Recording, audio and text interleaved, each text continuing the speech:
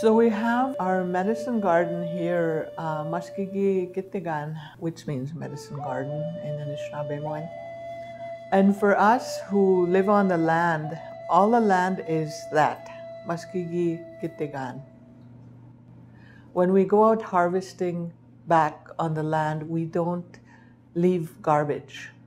As a matter of fact, if there's garbage around, we'll pick it up and try and keep the Mother Earth as clean as we can because we are going into an area that we consider sacred and that gives us life. And so that's the same way that this we need people to conduct themselves when they come to the medicine garden, that it's a sacred space.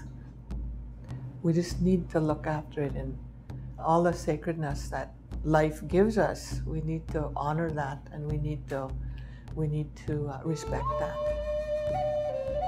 Because of the lives we live, we can be carrying a lot of different kinds of energies, uh, negative energies, overwhelming, you know, pain or whatever, and also a lot of positive energies too. You know, I've heard of teachings where you go into the forest to to spend some time even screaming and crying and getting rid of the rage and, and you know I've heard stories where you lean against a tree and that tree will give you its life to help you to remove all the negative things. So we, we can't forget that. And to me, that medicine garden is that's part of its purpose.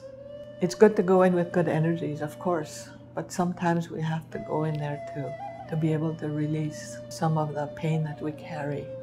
And it's a healing place.